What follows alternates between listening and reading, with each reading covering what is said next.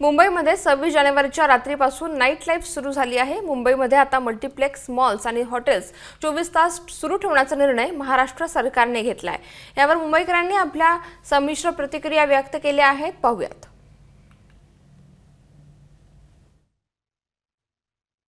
Twenty four hours जो mall चालू रहना चाहिए ये इंडिया में एक्चुअली ठीक नहीं है मैं खुद थाईलैंड गया था।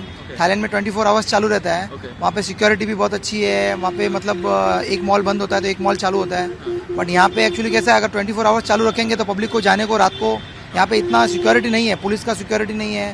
बाद में भी अपने को कन्वीनियंस घर पे जाना आना वो भी सही नहीं है।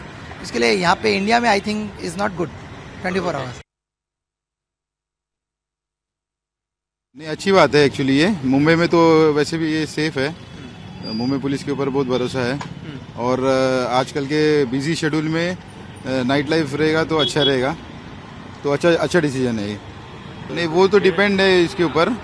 लेकिन मेरे को लगता नहीं है कि मुंबई सिटी में ऐसा कुछ क्राइम ज़्यादा होने का चांसेस है करके। तो वी आर सेफ़ हाँ हम लोग स्वागत करते हैं।